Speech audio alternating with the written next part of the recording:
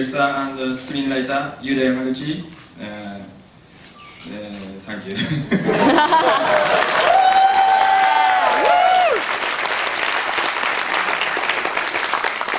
Hello, New York.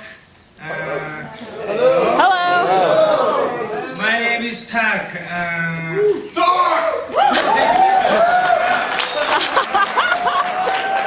this movie, uh, punch and kick. Uh, yeah.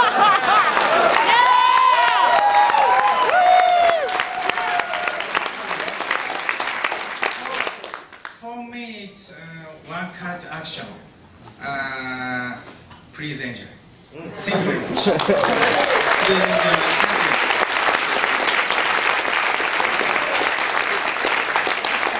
you. You guys are about to get your asses kicked. Enjoy. Stick Q&A afterward. Watch for a lot of familiar faces, some of whom have been here on this very stage in the film. Enjoy the movie. Thank. You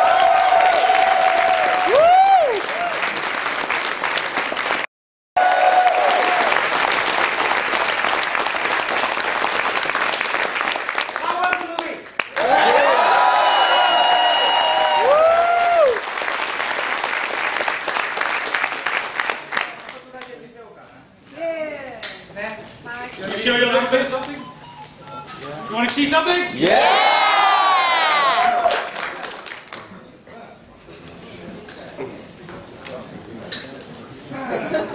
film business.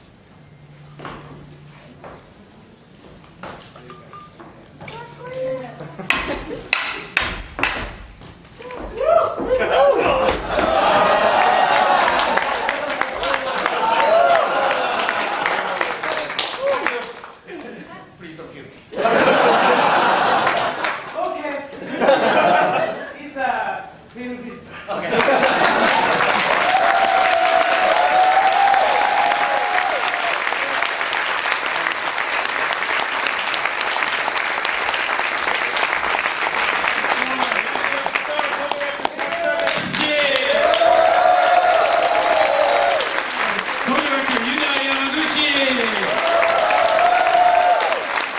And first time to the stage, first time to New York, actor Arata Yamanaka. You might have noticed in Karate Robo Zaborgar and Hell Driver. I think we decided he gets killed more often than anybody else in any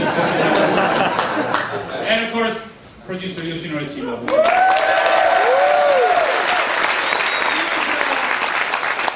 like a ninja last year.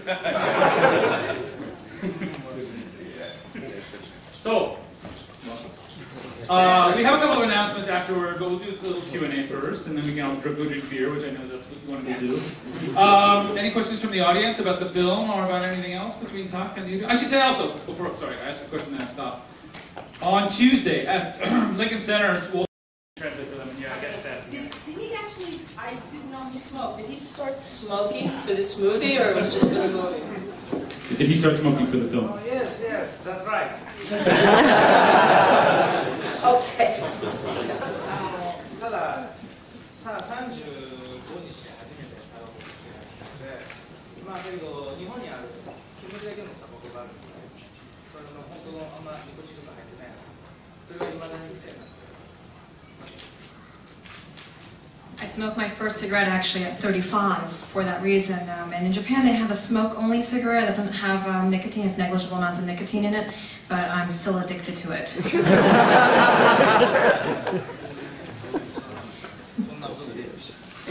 Until I turned 35, I didn't even uh, drink or smoke or anything. So I had a very, I was a late bloomer. Because action uh, accident. Yeah. So other other questions for Taku or Yudai or Arata? Here, can we bring a mic over here? Better the mic's ready. One on the low. And next question after that. Pass it behind, directly behind you. I was just wondering, um, how difficult was it to, well, basically keep screaming all your lines uh, during the film? How difficult was it to uh, maintain that level of energy and enthusiasm?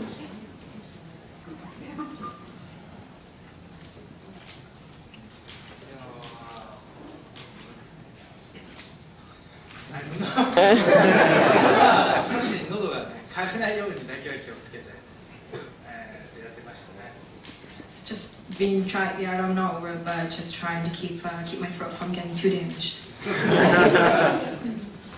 Next question, is it the blue shirt behind him? Next question after that? Uh, when you had the, uh, Way in the the, back, can we get on the uh, two microphone? people uh, going around the, the uh, female weapon, the female part of the weapon, was it uh, two dancers you got together and, and uh, like a dancing team or something like that that you had uh, playing? いやえーっとあれ自体はあのメキシコの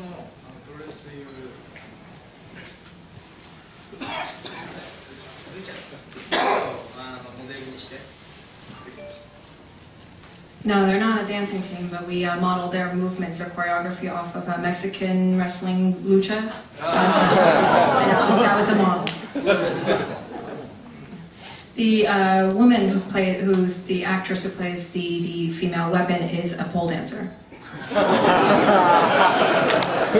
she is a former guest here, Kai Izumi. She was a guest here last year. Yeah, uh, yeah, Kai Izumi was in Beaten Girl Squad and Hell Driver and was here as a guest last year for New York Game Film Festival in Japan. She performed a pole dance here in the reception hall. You were lucky enough to be here. Yeah, so, um, nothing, nothing on that one. I don't know. Oops. I don't know. There's a special chat for that.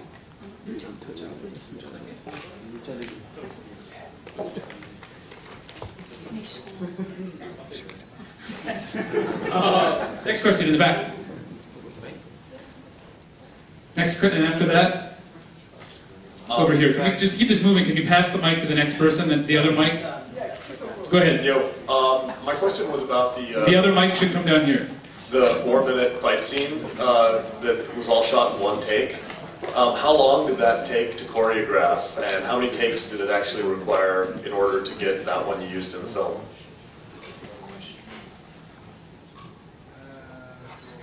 際にしっかりとした全部の通しで練習して、まあ撮影前に1時間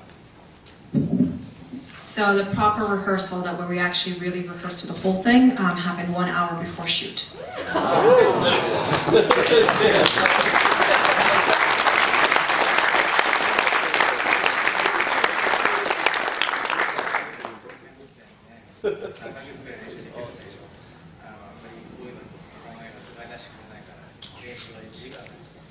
If we had the proper kind of budget, we would have spent three months on it, like Tony Jaa's uh, Tom Yum Goong. But uh, Japanese films don't pay for that kind of rehearsal time. I wish we had three months. Uh, we should also give a shout out to action director Yuji Shimomura, who I think some of you know the name of, who worked on Versus and a bunch of other of Yudai and Taku's films. And also to the action for Gantz, actually, and Gantz 1 and 2. Tie it all together. Um, another question? I think uh, who's over here? I got a mic. Hmm? Uh, sorry, Um, I got a mic. I'm gonna use it. Okay. Um, act- yes. Question number two was already like my, my question was already yes. I got another one. You did multiple scenes with a cigarette in your mouth, and I gotta know: Did you really have a cigarette in your mouth in, during those fight scenes?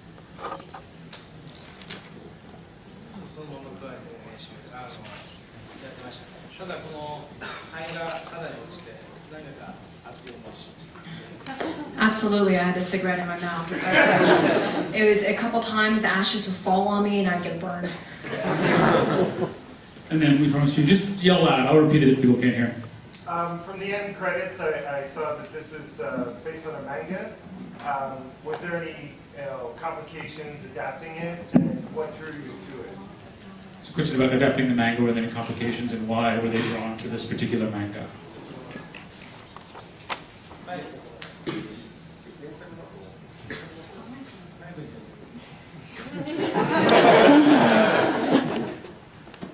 原作ですと,、えー、と今あの兵器がバラカン砲がトランスフォームする形になってるんですけど原作だと付け替える形になってるんですね。でそれを、えーとまあ、今回坂口拓のその肉体のアクションっていうのとその兵器になった後っていうのを、まあ、融合させたかったっていうのもあってでタクがその肉弾戦をやる。で肉弾戦をやるのとトランスフォームしてその兵器の部分を見せるっていうのを両方まあ融合させたかったのでその部分を原作からまず決めました It's not a problem per se, but one of the things that we changed is in the original story, uh, the machine gun he has in his arm, he actually, uh, in the film you'll see that it just transforms um, onto his arm, but in the original manga he actually attaches, puts on an attachment. But for the film, we really wanted married together the uh, action sequences uh, that Tak can do with his body and with the gun action sequences. So that's one of the changes we made. で内容面についてだと,、えーと、今回あの哲夫という、えー、村上淳さんが演じてたあのタクあの釈長蔵と、えー、幼なじみのキャラクターがいるんですけど彼は原作だとちょっとしか出てないキャラクターなんですねなんですけど、えーまあ、今回の映画でその仁義というものを、まあ、日本のヤクザ社会における仁義というものをちゃんと描きたかったというのがあってただ単にこうわーって騒いでるだけの映画にしたくなかったのでその仁義を描くために村上淳さんの、まあ、鉄夫という役を大きくしました。And one other plot point that we uh, changed was uh, the character Tetsuo, who is uh, Shozo's best friend growing up, uh, played by Jun Murakami. He's in the original work, he's just there for just like, he's a small minor character, but we really wanted to make a Yakuza film that highlighted the principle of Jingi, of chivalry and loyalty. So um, we didn't want it to just be a Yakuza film about just a bunch of people running around and having a good time. So we expanded his character.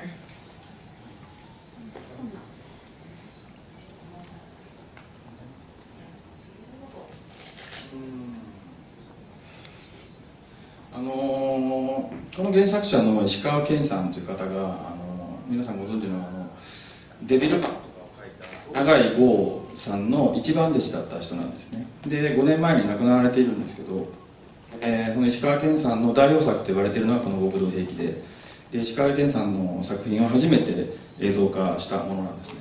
でもうあの遺族の方やその永井豪先生も、えー、映画化するということをすごく喜んでくれてで僕らがその変えた部分とかも全部そのあの了承してくれてすごく協力的にやっていただきました The uh, original artist Ken Ishikawa who made this, he also wrote Devilman.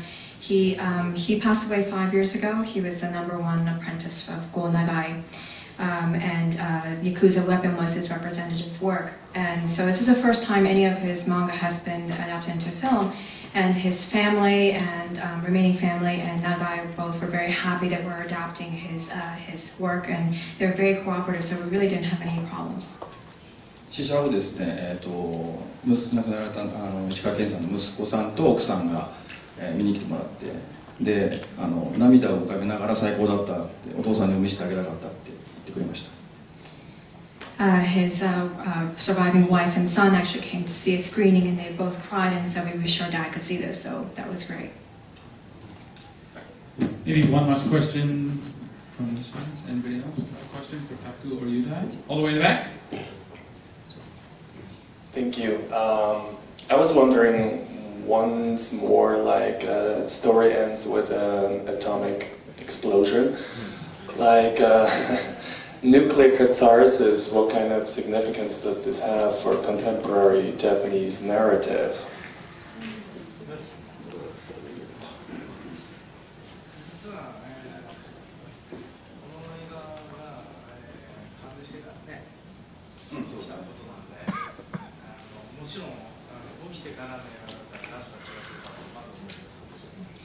This film was actually finished before the recent earthquake and nuclear disaster in Japan, so I'm sure if it, uh, we were still working on it after, after that incident, um, the ending would have been different.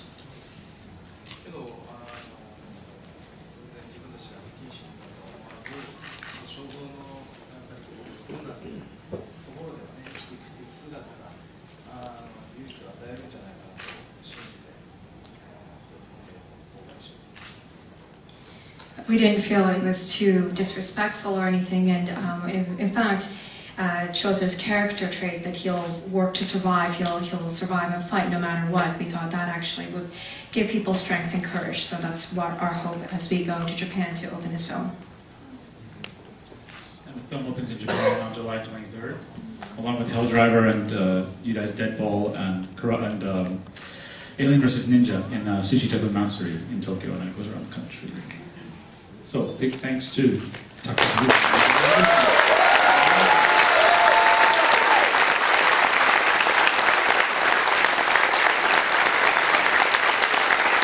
Before we let you go, we have two things to tell you. One is from Chiba-san, producer on Hakka, Shio, Haikyuu. We have an, you're the first people outside of Nikkatsu and Sushi Typhoon to hear this, but we just signed a deal, just not just signed, but we signed a deal with a new company to release all the remaining films on DVD and Blu-ray in the United States.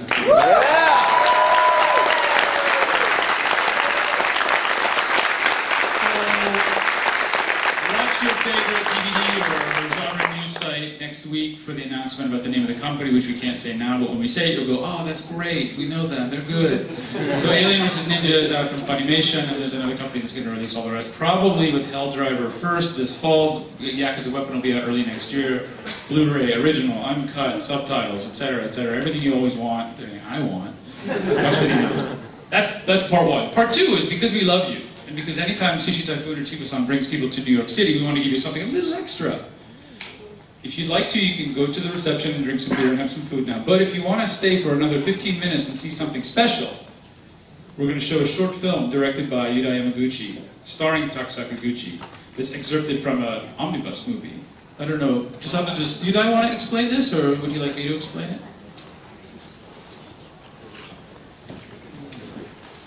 Uh, これはですね、えっと、2年前に、えー、タク、タクとあとですね、えっとザ・ボーガルに出てる山崎真美主演で作った、えーショートムービーですアクションショートムービーです、えージャッキー・チェンへの愛があの溢れんばかりに入ってますのでぜひご覧ください